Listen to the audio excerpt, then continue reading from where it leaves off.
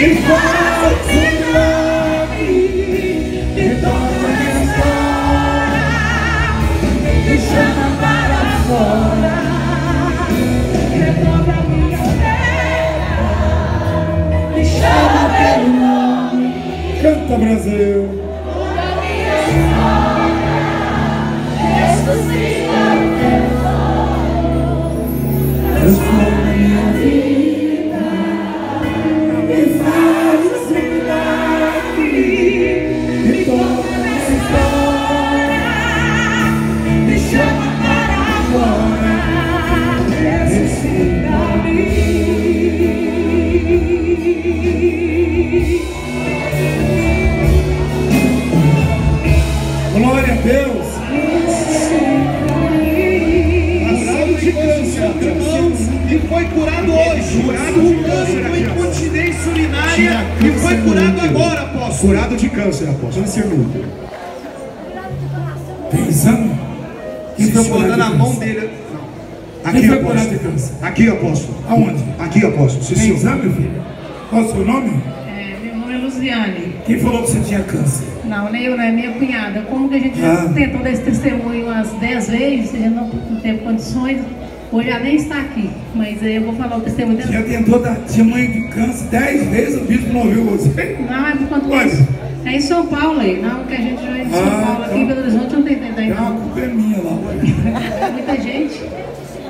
Mas é, eu não quis te ouvir ou porque eu não- a filha era grande? A fila é muito grande, não tem, é muito Quem. Nunca foi lá, nunca foi? Quem já foi?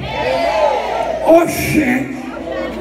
O governo de São Paulo tinha que declarar essa igreja lá ponto turístico. Olha o tanto de mineiro que já foi lá e gastou dinheiro na cidade, nos restaurantes.